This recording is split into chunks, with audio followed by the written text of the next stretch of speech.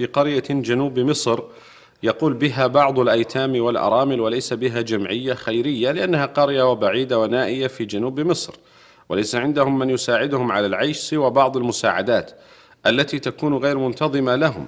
وأنوي بإذن الله أن نؤسس جمعية خيرية فهل يجوز ادخار أموال الزكوات لتأسيس الجمعية؟ وهدفها الأساس هو رعاية الأيتام والأرامل والفقراء.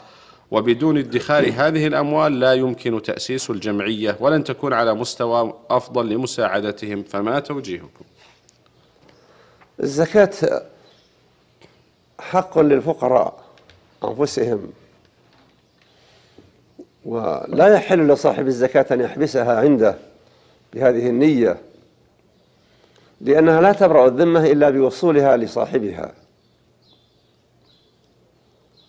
ثم إنشاء منشآت للجمعية وتأسيس موقع لها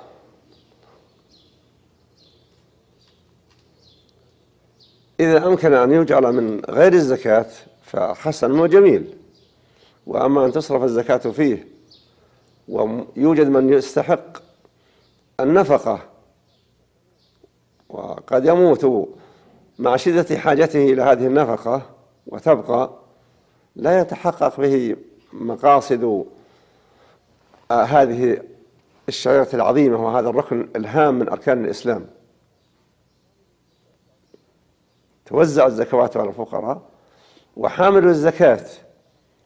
الجامع لها من أهلها هو لا يزال ما يحمل في ذمة الباذلين حتى يصل إلى المحتاجين.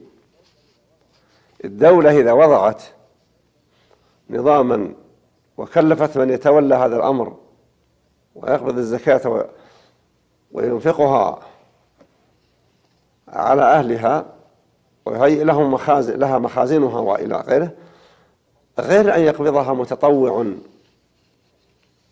ليتصرف. ولهذا لا أرى التأسيس من المال المجموع زكاة